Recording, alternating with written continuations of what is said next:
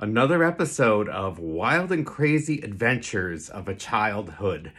Um, so I promised you yesterday that I would share with you another funny story as I'm at my mom's house and my dad's house, but they're at date night. So, and like I said, good for them. But when I was younger, my parents would make the mistake of sharing stuff with me, and I would find it hilarious. So I took it upon myself to kind of find fun when we would have picnics or barbecues or big family gatherings to kind of take center stage and share these stories. And one of them is this. When my mother and dad uh, got married in the 60s, they took their honeymoon driving cross country because my father was on leave from uh, serving in the Air Force in um, Kansas. He actually he was in Topeka, Kansas, at a, a small Air Force base right off it, the interstate, the major interstate there. And my mother had a job. It was the only job she's ever had. She never worked. She always was a full time mom, and she worked for Payless Shoes in their accounting department. And she used to do their accounts receivable and payroll. And that was when my parents were literally on their honeymoon and they were still newlyweds, married not even a year. Well, when they decided to move back to Connecticut, my dad told my mom, go to the, um, it, it wasn't called Latrine. It's the name of a store. My mother knows it. It's an acronym but it's on it's on base and it's a lot cheaper to buy things there than it is to buy things on the civilian market, I guess. And he said, stock up on tampons. They are so much cheaper. Buy all the tampons you want, and we're going to take them back to Connecticut because we're going to save a fortune. Well, so in my parents' little car, they had, my mom did not have her driver's license yet.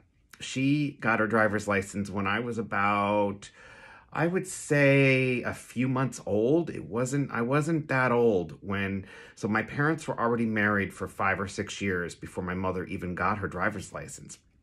So when I was, um, so my dad had this red cooler that he still has in the basement today, or it might be in the garage or in one of the attics in the house.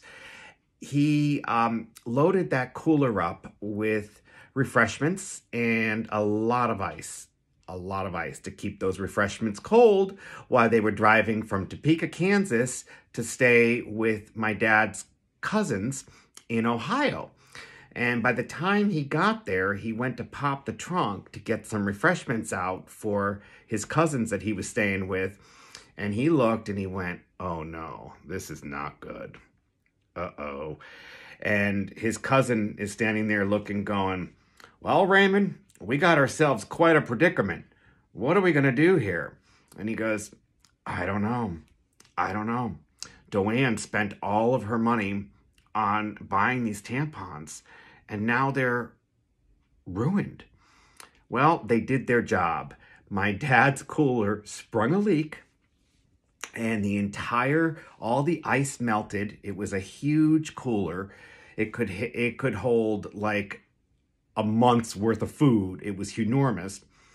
And it sprung a leak on the bottom. The little cork came out, or actually, it was a big cork. I know the cooler because I grew up with it.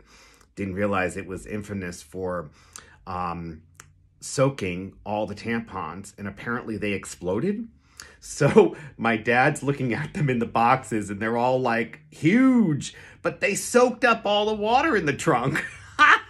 so my uncle or my cousin and him had this bright idea that they were going to hang these out to dry overnight on the um, the line. What is that? A clothesline. On a clothesline. Is that not hilarious? And goodness, when I told this story once at one of our family reunions, I think my grandpa, who passed away in 2000, almost wet himself. He was laughing so hard. He said, This is hilarious. So, what do I do? I tell more stories. And that is Wild and Crazy Adventures of My Childhood. And stay tuned as I upload more.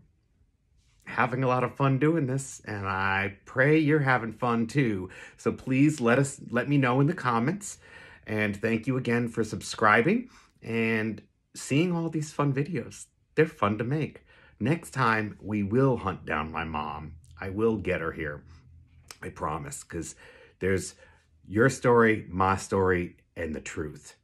And I think it's important that we get all aspects because my mom would bring a completely different point of view.